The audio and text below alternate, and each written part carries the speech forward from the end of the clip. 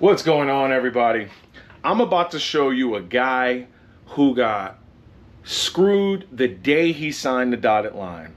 We'll talk about it when I get back. I'm your host, Larry of the No Regret Show. Think about subscribing to the channel. A Westside man took his $87,000 GT Mustang to a Boerne car dealership so they could sell it for him. But now the car is gone and he has yet to see a dime. Well, that's when he called KENS. Reporter Andrew Moore has this story. Felipe Villarreal had trusted Hovey Motor Cars to sell his Ford Shelby Mustang in a consignment sale. But then three weeks later, the dealership was tricked by a fraudster into releasing the car and they have nothing to show for it. Villarreal was hoping they would take responsibility, but so far that hasn't happened. I always wanted to get a car just like that. That particular color, they only made a little over 400 of them. Felipe Villarreal bought his dream car in 2022, just as inflation was starting to hit. Eventually, he couldn't justify the payments for his beloved Shelby Mustang, and he trusted Hovey Motor Cars in Boerne to sell it. They set the price just under $87,000, and three weeks later, he got a call. He tells me, Well, the good news is we sold your car. I'm like, Well, great. What's the bad news? He told me it was a fraudulent buyer. His car was now gone, and the dealership had not a single penny to show for it. According to a statement from Rick Hovey Jr., the fraud suspect was able to make a $10,000 down payment with a credit card and was approved for a loan. Five days later, they found out that card was stolen and the money was pulled back. For it to be taken so easily is baffling.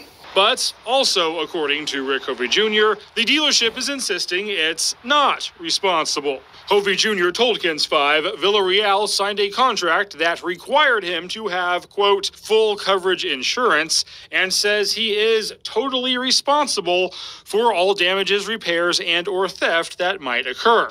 To top it off, Villarreal's insurance did not cover consignment sales. Feels like somebody hit you hard in the gut. You know, it really did. But does Hovey Motor Cars really have no responsibility in this case? We spoke to an insurance expert and an attorney to find out. The dealership's contract may have required Villarreal to have full coverage, but Rich Johnson with the Insurance Council of Texas says even full coverage insurance normally doesn't include consignment situations. If you if you're consigning a car, it's typically not uh, and something happens to your car uh, it's typically not covered. Now, he got screwed the day he signed for that car because I can almost guarantee you that was bought with COVID money. I can almost guarantee you that that car was bought with COVID money. And when things started to get hard, uh, when things started to get hard, uh, he couldn't live. As inflation hit, that car payment started to rock him. Now I checked out that car. Shelby GT500 is a gorgeous car, gorgeous car. But there was a markup on those cars back then. I remember looking at them. They wanted 120, 130,000 dollars. There's no reason why you should pay more than markup. I'll tell you that right now. There's no reason why you should pay more. There's no reason why you should pay a markup. I remember people were I remember people were paying 50,000 over for a Trackhawk. I went to go look at a Trackhawk. I was like, yo, these people are crazy. I bumped into a guy at a gas station. I had the Corvette and he told me he spent $140,000 on his Shelby GT 500. Now that same car, I found that car.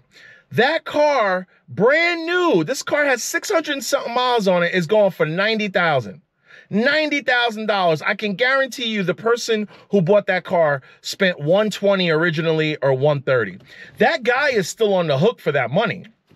Now, when I sell my cars, when I sold the Corvette, when I sold the Shelby or any car I sell, I go to kbb.com.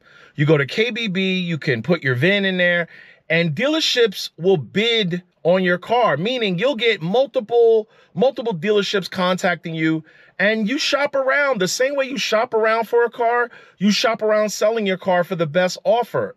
That's what I do. Or you can even go to Carvana or Vroom and they will come to your house and pick the car up for you. I can almost guarantee that car I can almost guarantee he's underwater in it. He's underwater. Like I said, it's a gorgeous car. It is a beautiful car. Let me put some photos up. That is a gorgeous car. Very nice. But you're on the hook for that. Remember, you get into an accident with that car, they don't give you what the car, what you paid for it. Meaning they give you roughly what the car is worth and what they're going for in your area. So say you owe $130,000 on that car. The car's worth 70. You're on the hook.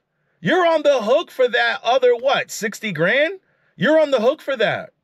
You crash that car and you don't have gap insurance or you don't have a lot of money down on the car. And now myself, this car that I purchased and certain cars, I will not say I, am I have to tell you this. They're not investments, but there's some cars that hold their values better than other. Porsche 911s hold their value. M cars, meaning the uh, the uh, the M2 that I'm in, they hold their value. M3s, M4s, they hold their value very well. Uh, RS from Audi, Lamborghinis, a lot of your high-end sports cars, they hold their value. There's certain cars that are desirable that will always be desired and they hold their value, but that doesn't give you any excuse to overpay on them. When that guy took that car to that consignment, why would you do that? Why would you take a car to consignment? If to a, to a, a consignment place, if you put down a down payment and you the, the, the let's just say you were going to get a check back. Like I got a check for the Shelby. Why wouldn't you just sell it to a regular dealer? Why would you bring that to a consignment? Now they got screwed, you got screwed, everybody screwed, and you're the one that's going to get screwed the most because you're on the hook with the bank. The dealership's not on the hook. Okay. They're not on the hook. You are. Gorgeous car, but somebody made away with it. I mean, all they got to do is just track down the VIN. That's all they got to do. Track down the VIN, track down the car, see where the car is registered. In my opinion, that car is probably stripped down or it has bogus VINs on it now. But don't get screwed, man. Don't get screwed paying for these cars. Make sure, even if you get a car, for instance, I have a high car payment in this. I'm gonna tell you what it is. It's 1300 a month. I put down tax title tags. The reason why I put down tax title tags and I don't put down large amounts of money like the whole car. You guys know I bought the Shelby in full. That was the worst thing I could have ever did. I created capital gains. I had to pay taxes. It, it, it was just a mess. I've learned to put down tax title tags. I'm not financing tax. Okay. Put down tax title tags and maybe an extra three grand more. Make my payments astronomical, paid off in a year or two, and leave your money growing for you. But I can almost guarantee you that guy bought that car with COVID stimulus money. We're going to see more cases like this. More people will get scammed. They will keep getting scammed. So hope the video helps. No regrets. Get it.